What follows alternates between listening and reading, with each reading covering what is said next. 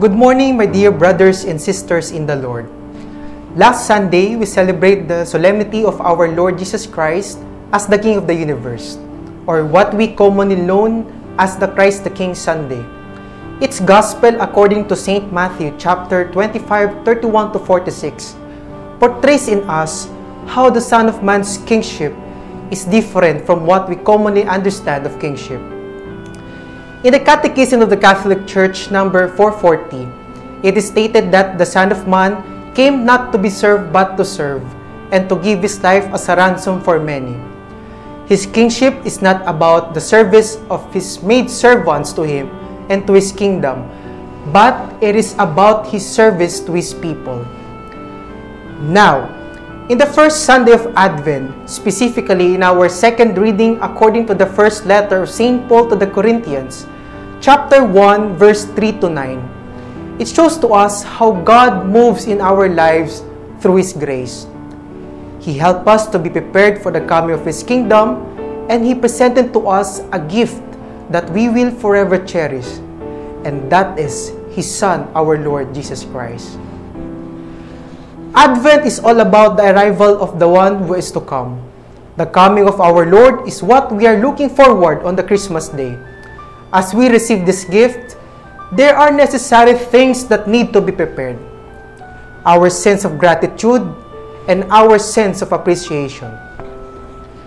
First is our sense of gratitude because every gift is made out of effort and in every gift there is always a love showed by the giver to the receiver. May it be in a small or enormous gift, this could be the reason why we always connect giving to loving. Our experience of receiving gifts from our parents is a concrete example of love. They gave us a gift because they wanted us to feel how they love us. And sometimes, they came to the point that they need to sacrifice in order to give that gift to their child. But God's gift to us is very much evident that it is made out of love. His gift to us goes beyond material things. The ultimate gift God gives us is Jesus Himself.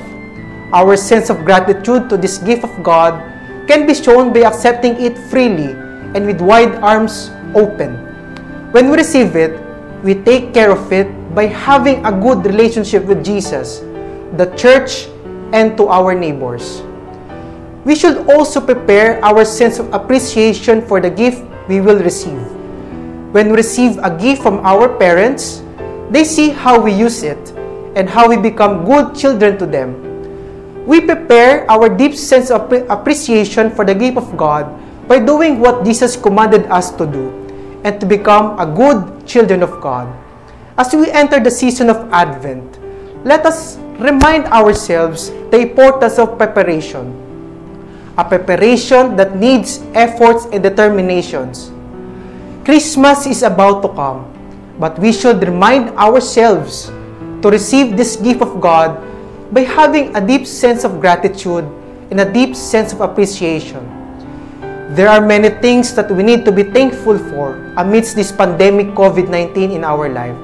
Our, our life, our family, our friends, and the best among all this is the coming of our Lord Jesus Christ.